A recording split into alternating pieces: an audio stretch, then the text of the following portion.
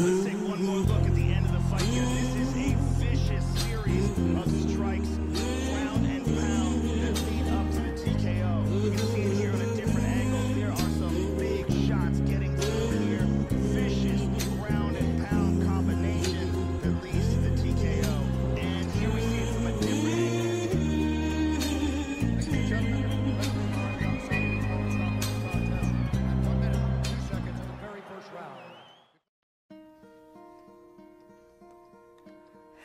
darkness, my old friend. I've come to talk with you again.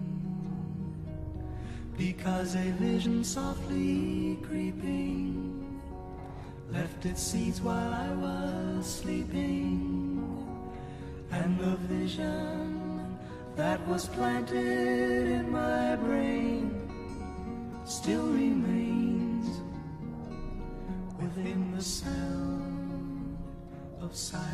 By TKO and still the undisputed UFC lightweight champion of the world, the Sniper. The Sniper remains the UFC lightweight champion.